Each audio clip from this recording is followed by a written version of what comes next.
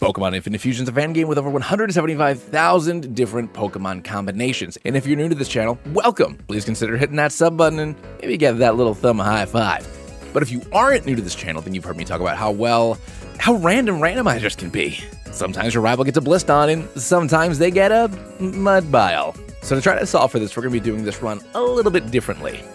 First off, while all of our encounters, trainers, and bosses are going to be randomized, Today, we're going to be playing on balanced mode. This means if the base stat total of any Pokemon we find or fight will be in pretty close range to what it's supposed to be. Second, every wild Pokemon we encounter will already be fused. So instead of trying to break the game with our own combinations, we're going to work with whatever the dice has given us. And as usual, we're going to be playing this as a hardcore Nuzlocke, which means if a Pokemon faints, it's considered dead. The level cap is our next leader's ace, no active items can be used in battle, and we're going to be playing on set mode. And yes, I am so sorry, Justin. I know I have a problem. But let's get rolling. Starting off in Professor Oak's labs, our choices are Venutortle, Cinderon, and Pirellia. While all of these look pretty cool, Aggron is one of my favorite Gen 3 Pokemon, and slapping some armor onto a Typhlosion seems like it would be a pretty cool idea, so that's what we go with. It's also worth noting that the Fire Rock version of the fusion is what has a custom sprite, so my rival will always be at type advantage with his Blastoise. Starting things off, Venutortle elects not to hit me for any reason whatsoever as we go ahead and slap this thing around. A little bit into the battle, I realize it doesn't actually have any attacking moves, so good thing I didn't pick it. We do, however, almost die to confusion because of our burly attack stat. On our way to Brock, our encounters are a double Zubat, a Sandinch, a Poril, a Poripoke, and a Shedvi. We find Rando over on Route 22, holding a map upside down, yelling at the lead guard for not letting him into the Viridian Forest. After walking up to him and flipping the map to the right side up, he accuses us of giving him the wrong directions and challenges us to a battle. Setting into Nidocarp, we send in our starter, and after three hits, it goes down. Venutortle comes out next. Risking it having learned to move, we send in Poripoke. It seems like it still doesn't have any moves that can hit us, so after two Psybeams, we end the battle. In the Secret Garden, we grab a Yanpai and head over to Brock. Brock has been randomized into a grass trainer to help out with his rock hard allergies, setting in a Hopro as his first Pokemon. An Ember takes it down really low, and we get lucky with the burn, and it goes down. His ace, an Exeggutor, is actually really cool looking. Going for an Ember, we do about 25% as he seeds us. Swapping into Yanfree sets up a Reflect, and a Gust does big damage to this guy with one more, ending the battle. Over on Route 3, we grab a Chinynx and see Nurse Joy tending to this wounded Geodude. Brock cannot resist the opportunity to not only help out a rock in need, but to show Nurse Joy how both hard and sensitive he is. Flustered by his sheer manliness, she says she needs to go lay down for a little while, and we help her back into the Pokemon Center. Our Magikarp is replaced by a double Serenet, which is a little unfortunate, and we head into Mount Moon where we get an Axe Puff. I love this guy's mustache. Cinderon goes ahead and also evolves into Quirion, and I'm really proud of him for finding his true self. I am, I'm also pretty sure this is going up in June, so happy Pride, everybody. Chinynx also evolves into Chinixio, and we give our Evium Moonstone, and after reversing it, we get the almost unkillable Umbinja. At the end of Mount Moon, we find Team Rocket performing some kind of experiment. It turns out they're attempting a triple fusion, and while that seems awesome in theory, their fusion machine explodes and the Pokemon turn into some kind of screaming goo. So I don't think that this is a morally sound experiment. Embarrassed after it fails, they disappear into the night. Over on Route 4, we grab a Peculia, and with that, it's time to take on Rando. He tries to brag about all of his awesome Pokemon he's captured, but it turns out he only has four setting out in his no zone. Going for a Thunder Wave on my Almond is the only thing it can do, so after spamming all of its PP, it eventually goes down. Cinderace is up next, and it can't hit me either, so all I can do is spam Endurance, a few attacks, take it down. Venustoise is fierce, but once again, I do love me some cheese. At least it has an attacking move now, though. Nidovi is his final Pokemon, and she is adorable. But with Rando defeated, he lets us know that he's heading over to Vermilion City. Reaching Bill's house, we find that he's fused himself with a Rhydon. Even though the fusion worked, he considers the experiment a failure. I guess somebody's made a custom sprite for it yet.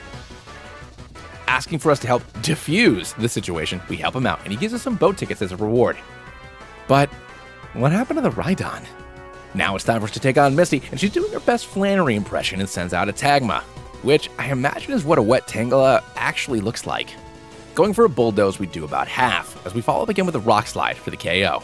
Up next is this fluffy bundle of eggs, and it takes us down really low after a few Fire Fangs. but some crunches from us sort things out, and we earn our second badge. On our way to Vermilion, we catch a Shuptu, Omeros, Corftwig, Doogie, and an Azekue. We immediately evolve and add this excellent Azumarill to our party, and this might be my favorite Mimikyu I've used so far. We find Rando on the S.S. Anne. He's wearing a cape and pretending to be from Kalos. Seeing us, he loses his composure and blames us for ruining his improv show, and the battle begins. Sending out Haunsaur, a feint attack takes it down in one shot. His next two Pokemon are riffs on his actual Pokemon, which I find excellent, but they both go down in one as well. I don't really understand why this art for Venonat, but not for Venomoth, but he just spams Rapid Spin and Bite, and after a few feint attacks from us, it goes down without much of an issue. Surge has been randomized into a Ghost Trainer, which, given that he's fought in a war, it's kinda scary. Were his Pokemon always ghosts? And was it some kind of like fear based combat? Or are these ghosts the ghosts of his dead Pokemon? Of his squad mates? Offended at this questions, he sends out a Drift Slate, confusing the issue even more. And shout out to Empath Naga, he's a community member who actually made this sprite. All three of his Pokemon go down in one shot, and all of them seem to indicate that they're representations of actual dead people, especially with the number of masks that Yanma had. Creepy. Thunder Badge acquired. Fighting our way through Rock Tunnel, we grab a bunch of new friends. But we need to head to Pokemon Tower to give our respects to Surge's fallen friends. In Pokemon Tower, we find Rando doing just that. I guess he's not the only one who asked Surge about his fallen comrades. But he wouldn't let up about whether Yanma's masks were the ones he earned or the ones he's lost. Rhyphree is adorable. We swap into Chinixio going for a spark, but smack ourselves down below half. Switching into Sandwich, we almost get taken out, but Rock Slide gets this thing down into the red. Swapping again into Aminja, he goes ahead and heals as we go for a Confuse Ray. Taking advantage of Wonder Guard, we eventually get the KO after a few hits. Our Infernaru is up next, and this stubby little monkey can't do anything to us until a metronome makes him use Toxic Thread. I was skeptical about using this thing to begin with, but to lose to a freaking metronome? Setting out Porypoke, he heals up as two water guns take it down. Venusaur comes out, not sure if it has any bug moves, we set up a nasty plot, and after taking a few Psybeams, we take it out. Flosaur is a cutie, but afraid of grass, we send in Quirion as a Razor Leaf does about 25%, and a Flame Wheel gets the Oko. After the battle ends, we hear a fight happening on the other side of the room. It turns out Team Rocket is here, and they're harassing this old guy. Threatening him, they drag him upstairs because he's terrified of ghosts.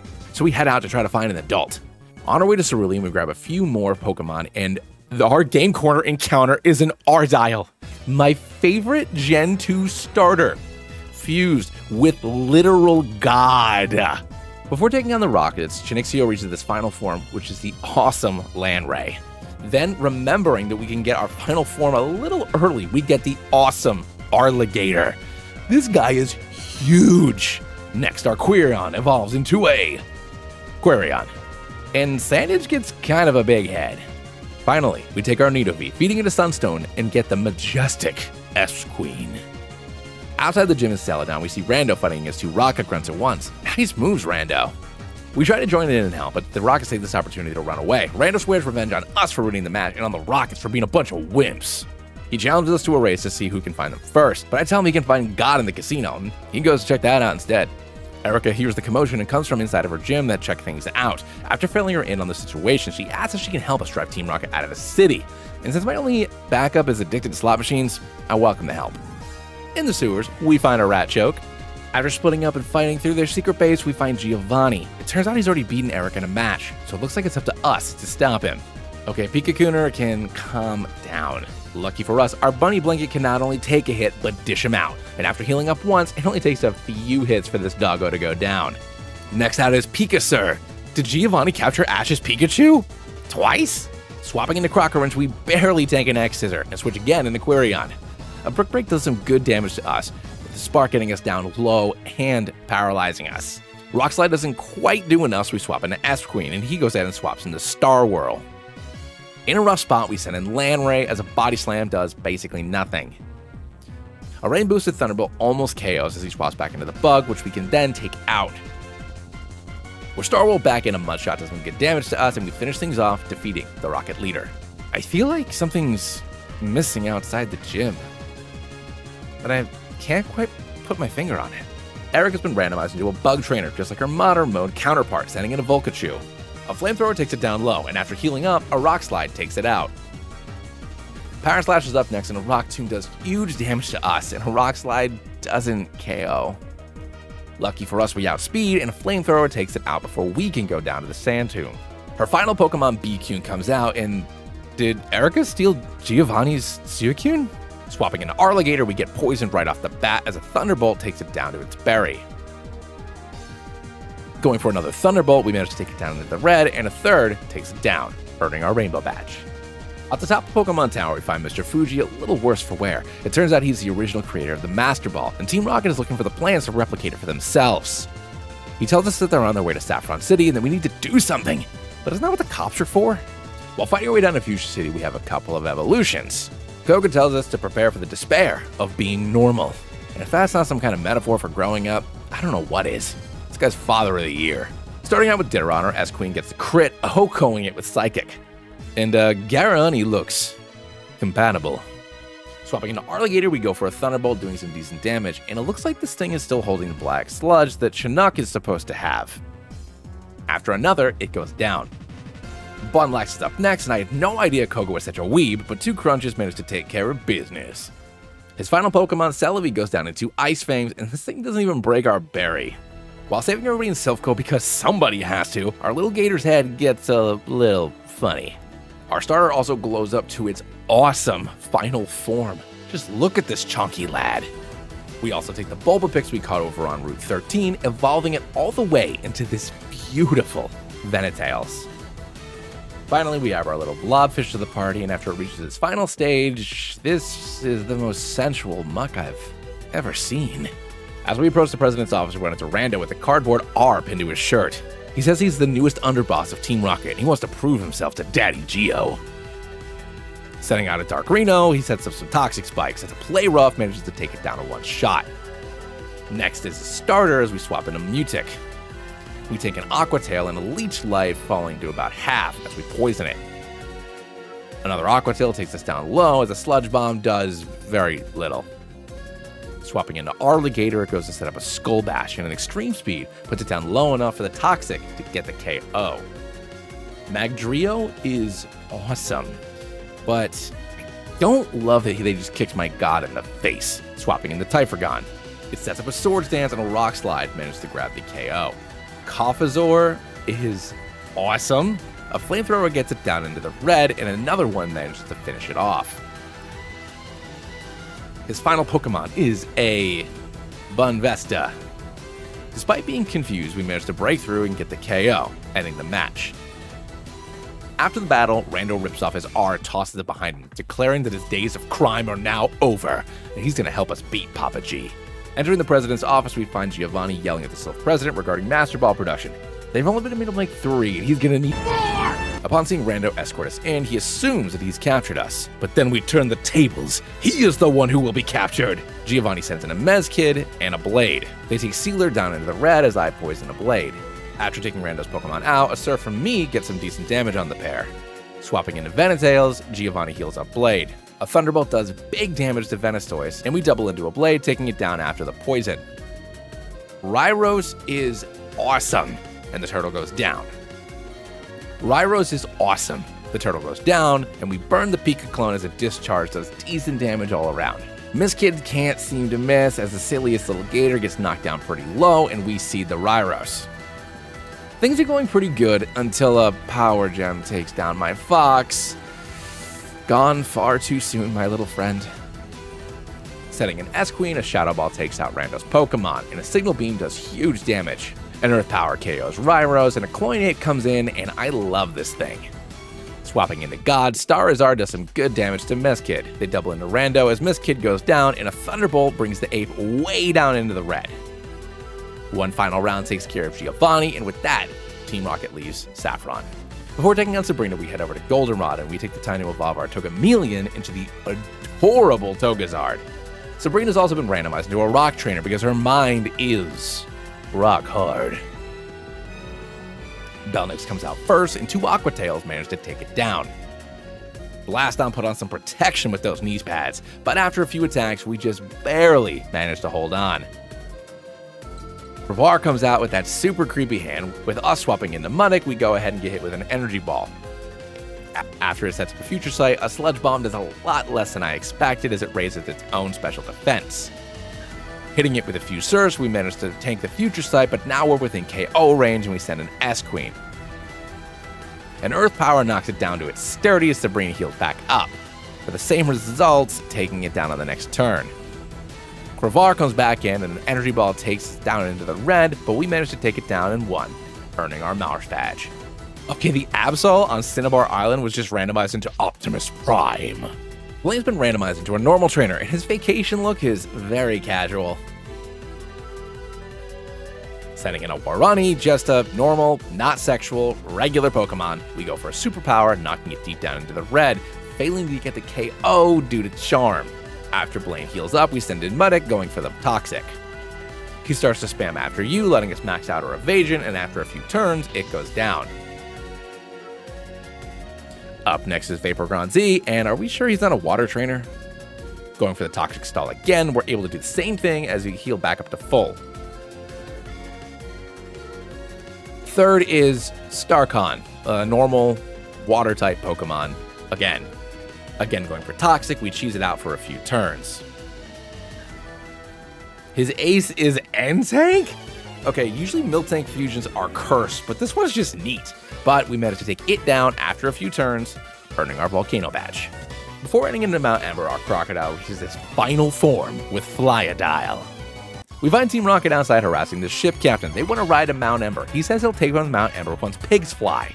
One of the grunts says that she can see a Tepig flying in the distance, turn around and taking the keys and running off. Tepig isn't even in this game. I can't believe he fell for that. Following the Mount Ember, we find that Giovanni's not only captured Moltres, but Zapdos and Articuno as well. What's even crazier is their triple fusion splicer now works. He fuses them together into Zapdokuno. Now this fight can be pretty tough if you don't have any spread moves. I've seen a lot of other people use Perish Song or just kind of throw their Pokemon at it until eventually it goes down, but I have a very easy solution for this big burn. Rock Slide, Discharge, and even Surf absolutely own this thing. After two discharges, Landray is left deep in the red, with only one of the heads down. Swapping out for a Surf, hoping for a crit, we manage to take down the other one, leaving only Zapdos before he goes down. Rest easy, my friend. Your work is done. Swapping in a Flyodile, we manage to take down the last head pretty quickly. With that, the birds defuse and Giovanni leaves, beaten and broken. Checking out Moltres to see what it's been randomized into, we get a Dragote? Okay. Heading to Giovanni for our final badge, just like Surge, he's been randomized into a Ghost Trainer, haunted by his past. Genlicky comes out against our Optimus, and after a few hits, we go ahead and swap into Asmikyu. After healing up, we waste a few turns for Destiny Bond, taking a few Dark Pulses. We eventually manage to connect with a Play Rough, doing big damage. Healing back up another two times, we eventually take this big guy down. King Slash is up next, going for a Shadow Sneak, we do about 30%. Every other turn it keeps on spamming Protect and not King Shield, and we manage to take it down. Mimidoom is creepy. Two hits take it down. I do not like how tall Genly is, and it does not like being alive. One hit. His final Pokemon Muet is both very cute and very creepy, and after two hits, it goes down, and we earn our Earth Badge, which for ghost types is creepy for a whole other reason. Over on Route 22, we see Rando strucking his badges in his cupped hands, speaking to them. He says they're precious to him. Seeing that we also have badges, he goes into a frenzy, attacking us, declaring that we've stolen his preciouses. Arpip, another god, stands no chance against the power of alien science. Talon King is awesome. I realize this thing is fire, not flying, and we take it out after being hit pretty low. Togonite comes out next, swapping into a Wazuma Q, and we manage to pick up the KO with a Play Rough. Then its voice is up now, and after a few hits, we manage to do the same thing while getting down to about half. Hopshire is a funny lad. A Shadow Sneak does okay damage to us as he sets up the rain, and I don't know why he uses Memento. Area Tomb is his final Pokemon, and this thing is creepy. Setting in Typhgron, a Fire Punch does big damage, and a second one manages to take it out. And we head to the league. On Victory Road, I want to see what Entei's been randomized into, and it's a dear god, so many this run. But now, let's go ahead and take a look at our team before we head into the Elite Four. First up, we have Dragite with Sacred Fire, Aqua Tail, Thunder Punch, and Roost. Togazard with Flamethrower, Air Slash, Aura Sphere, and Draining Kiss. Flyadile with Dragon Claw, Crunch, Rock Slide, and Earthquake. Typhgron with Shadow Claw, Iron Head, Fire Punch, and Rock Slide. Azumarill with Shadow Sneak, Aqua Tail, Earth Power, and Play Rough. And Arligator with Ice Fang, Crunch, Extreme Speed, and Surf.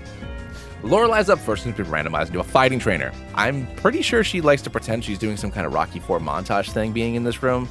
Sending out Sunnykin, this thing is the Teletubby Sun mixed with a Nightmare, and we managed to take it down with a Sacred Fire. Up next is Maser, and we get the same result.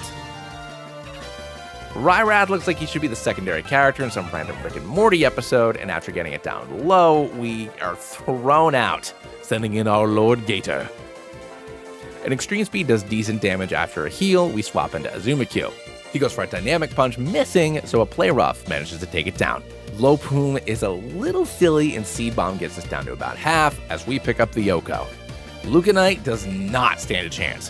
One and done, baby. Up next is Bruno, and he zaps his enemies into paralysis. Wait a second, isn't that somebody else's line?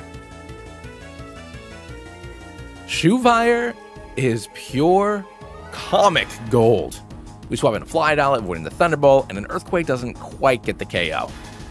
After using both of his potions, we manage to take it down with a couple of the Quakes. Aram is crazy. Excuse you, Zekrom with that X scissor. And our first friend of the league goes down. Shades has been with us since the beginning. May you find rest, my friend. Setting in Togazard, we go for an air slash and finish this thing off quickly. Up next is Luxion, and I don't know what possesses me to stay in, but lucky for me, it uses Discharge and not a water move, and we slide into Typhragon. Don't know why I swapped a times 2 weakness for a times 4 weakness, but now my starter's dead too. Dragite comes in because I might as well keep on being weak, as a Thunder Punch does very little. After a few hits, we manage to take this thing down, and another Zekrom. Yeah, why not? At least this thing is bugged, so going for a Sacred Fire, we managed to take it down. Duskray up next, and after healing up, a couple of Sacred Fires take it down. Agatha's up third, and she's been assigned the ground type, which, fun fact, that's where people go before they become ghosts. She starts off with Druiswine, and we swap into Azumarill. Calling the Blizzard like a pro, we tank it, and an Earthquake, taking this big blimp down in one. Rybrock also gets O-Code, and Duoswine is literally Ganon. Going for a superpower, we managed to take down the Triforce of Power, and now that Kabuchamp is out, I go ahead and swap into the Gator God. Our final two Pokemon go down in one hit each, but we do get hit pretty low, but only Lance remains. Going into Lance, we're in okay shape. He's been randomized into a mythical poison type trainer. Wheelax is a lot bigger than advertised, and we go for a couple of Dragon Dances. After stacking up three, we managed to get the Oko with Sacred Fire. Tyron Bell is out next, going for a Thunder Punch. We do big damage as an Earthquake hits us pretty hard. After healing up twice, we managed to take this thing down, but now we're below half. Ray Raid is kinda scary. We heal up a few times and a Dragon Pulse takes us out in one shot. And this is not looking great for us. Setting in Togazard, I have to hope this thing does not have any poison moves, as a Draining Kiss does a lot less than I expected. After trading for a few rounds, we managed to take this thing down while staying healthy. Harking is tatted up, and I forget that poison resists fighting, but I keep going for it anyways, instead of a stab draining kiss. But, but at least this thing is true, and his final Pokemon is Nidalee, and with that, we're heading to the championship. We find Rando in the Champions Chamber practicing poses like that guy from Galar. He thinks we've come to congratulate him, but I have some other plans. Shocked to hear that we've also beaten the Elite Four. The battle begins.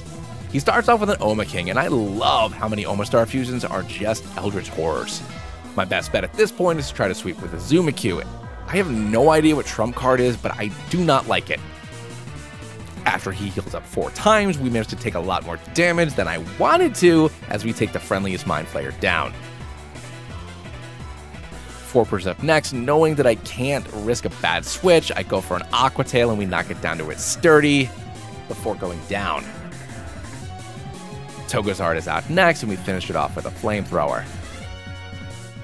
Next is Venusaur, swapping into Arligator, and Extreme Speed does just under half, and this thing just starts dancing. Going for a powered up Hydro Pump, it hits us hard. And we get hit down deep into the red before it goes down. Yancer comes out next, and going for an Ice Fang, we don't manage to do very much. Assuming that I'm dead, I go for an E-Speed, knocking it down low as it U-turns out for Luna Duck. Hey, that's mine! For some reason, I go for a Surf, doing basically nothing as a close combat takes me down. Down to my last Pokemon, I send in Togazard. A Draining Kiss manages to take the duck down, and I manage to take Yancer down right away, and now we are down to a one-on-one with a Jumpsuar. Thankfully, a times 4 super effective stab, flamethrower, OHKO's the bug. And with that, Rando is defeated, and we are crowned champion. And that is how I beat a hardcore randomized Nuzlocke of Pokemon Infinite Fusion. If you liked the video, please make sure you leave a comment and thumbs up. And if you haven't yet, please consider subscribing. Like 90% of you aren't, and that's crazy. But Thanks so much for watching, and we'll catch you in the next one. See ya.